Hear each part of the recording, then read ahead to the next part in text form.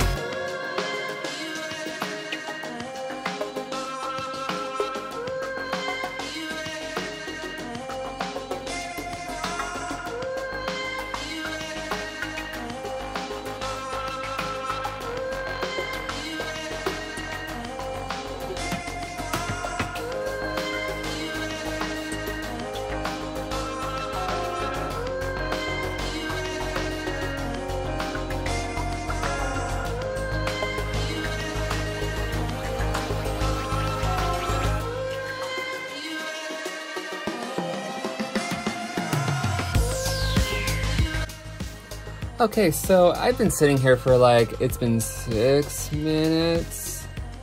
Do you think it's ready? I don't know. I'm bored and I didn't want to have to like leave and come back. So I'm just gonna try. It doesn't have to be perfect since we are doing something impressionistic. You know, I just need some color on the background. Whether it's splotchy or not, doesn't really matter. I don't think, probably not, whatever. Um, but let's just take a sneak peek. Just a sneak peek, mind you. Yeah, I think we're good. We're gonna go for it. We're going for it. I'm doing the peel and reveal, y'all. Ooh, it's a little splotchy, but that's all right. Let's just get this first part up. All right, and we're peeling. Ooh. Ta-da! A little curly on the end there. And now we have something to work with. So I'm gonna put some tunes back on, but before I do that, I'll explain what I'm gonna, you know, attempt to do. So I was going for a sky with, these are some leaves, stuff, this is the ground, and what have ya.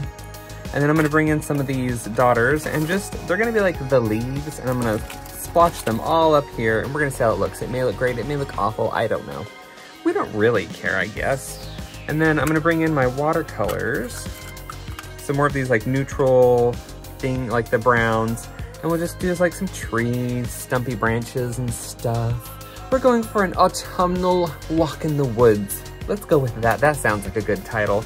And then we're gonna splatter some gold all around. Just, you know, that speckly, dewy yumminess that you can get after a nice rainy day or an early morning walk. So uh, music back on for me, and I'm gonna just start dotting the hell out of this thing. It's gonna be fun.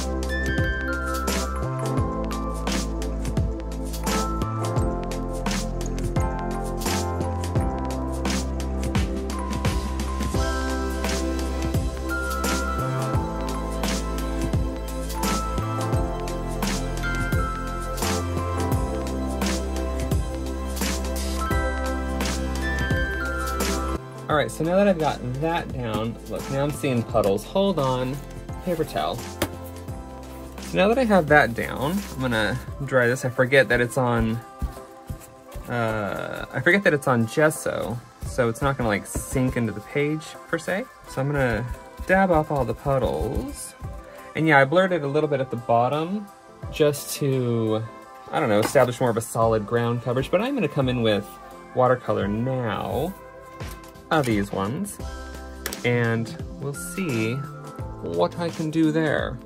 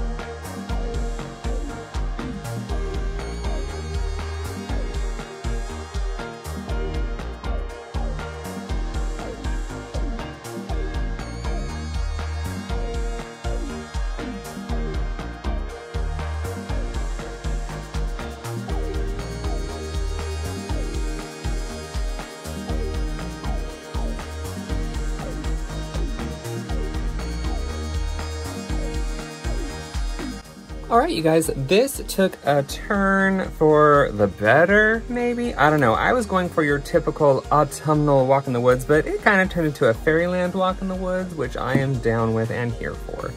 So yeah, it was not intentional, but you know, when you add neons, things get a little more exciting. So yeah, woohoo!